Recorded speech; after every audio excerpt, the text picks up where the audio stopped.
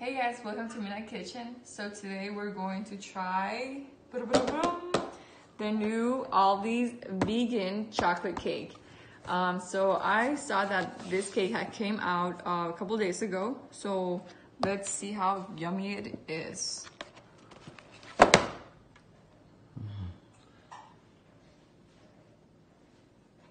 Okay, good time. All right, so let's get started. So here it has a really quick, easy access the tab. paper pull tab. Okay. And then let's see how it is. Okay, I think it's this way. Ooh, look at this. Oh. Now, I will admit, you guys, it was a little on the costly side. Even for Aldi. Yeah, even for Aldi, but I I mean, mean, not really though. For vegan cake, it's not really costly. right, but we'll give it a How try. much was it? It was um seven dollars and some change. I'm not really sure, but it was about seven dollars. I think it was seven ninety nine, isn't it? Yeah, then almost eight dollars then. Okay, so I'm just gonna cut this paper, and then here you can tell. Look at that. It looks like it's like a chocolate mousse frosting here. Okay. Oh. Okay, so I'm gonna pull this paper out. Finishing this. It looks like it's ready to serve, like that. It's a little party. Oh, yeah. It looks really pretty. It feels moist. It was in the refrigerated aisle, um, in the middle refrigerators, and it doesn't really say any directions how to eat it. I mean, it's just cake, so go at it, I guess. Let's, let's go at it, huh? So I'm gonna cut it, and I'm gonna cut a little tiny piece. It's a little taste test here.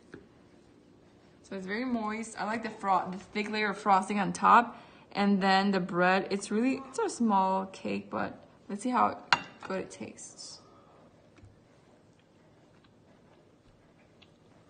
This is really good. Really? Mm-hmm. Like for real? Yes, Take another bite. very chocolatey. It's perfect. It's a little rich, but it's perfect. I will eat this with a glass of like almond milk or a scoop of like ice cream. It's really good. Mm.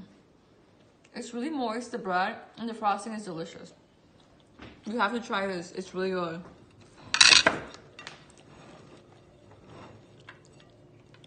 All these you got done yourself.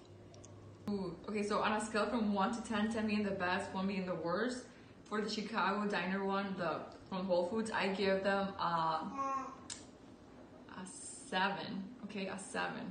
I do the thing that makes them really good is that they add they add frosting, like a really light fluffy frosting at the top, so that makes it really good.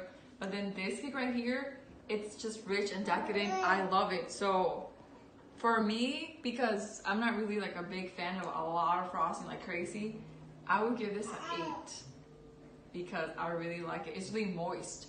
Um, the Whole Foods one, it is a little dry, so the bread is actually a little drier. So I like my breads to be like moist and yummy. So that's why I give this an eight.